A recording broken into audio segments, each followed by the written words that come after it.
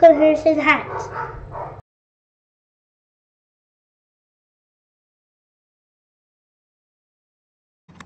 Hey guys, welcome back to Harrison Hacks. Uh, today I want to share with you the latest uh, jrassa release for Emulation Station for Windows. Uh, now basically um, this is a work in progress build. However, it allows you to add favorites, um, have another list for your uh, last played games, as well as you can have uh, all all games all in one all in one section of Emulation Station. So basically to get this, uh, go to the link in the description. It'll take you to jrassa's GitHub.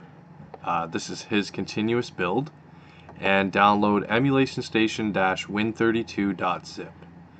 Go ahead and download that. Now once you have it, you'll have it right here. Uh, right click and you're going to want to do extract to. So extract to emulationstation.win32. Once that's extracted, you'll have this folder here. Now, one thing I recommend is go to your portable emulation station or just your Windows emulation station in general and copy from plugins folder all the way down. Just copy this to another folder uh, and back it up. So I've already copied mine and I did an, a folder called ES Backup and I just pasted everything in here. Um, and the only reason I did this, I, I, have I have used his continuous build. I, I haven't run into any issues at all. Uh, but because it's not um, a stable release, I just wanted to be sure. So this is this is everything that you're going to want to copy and paste into your ES backup.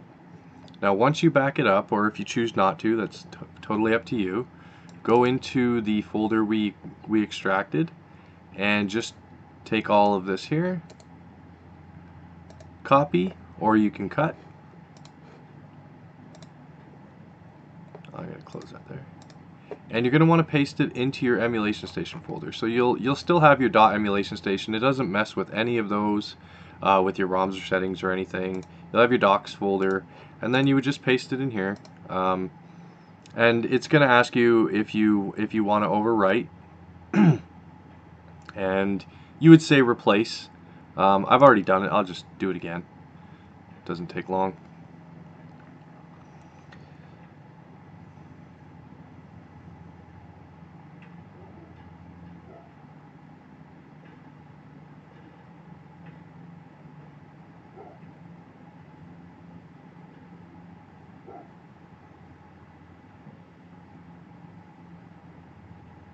Okay, so now that that's done, um, go ahead and launch your emulation station.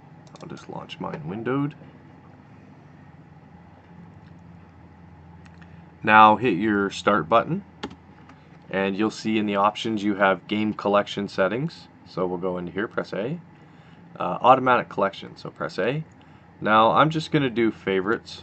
Uh, that's the one that I'm interested in. I'm going to go back, back, and I'll go back out here. And now you can see that it's it's generated a favorites folder. Now there's nothing in here yet. So go to wherever you have games. Um, I don't have many systems on this build right now so I'll just go into Daphne and Dragon's Lair. You can see that on the bottom of your screen if you press Y it'll add it to favorites so press Y and add it to favorites. Um, I'll also do Space Ace press Y and we got Atari 5200.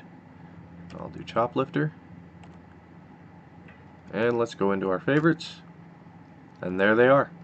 So this is how you create a favorites list within uh, Emulation Station for Windows. Um, this is made by Jay Rasa. I'm just showing you how to do it. I, I'm not affiliated with him, um, but my hat's off to him. It's excellent, excellent work. Um, and you could do others if you wanted to do, if you go into game collection settings, automatic, you could do all games, we can add last played, back, back, back, and there's the last played. So this is everything that I've played recently.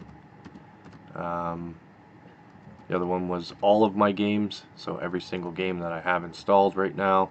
Um, And what's nice is this theme is um, David Marty's theme. So if you watched my Emulation Station Portable uh, video, then you know that this is made by David Marty.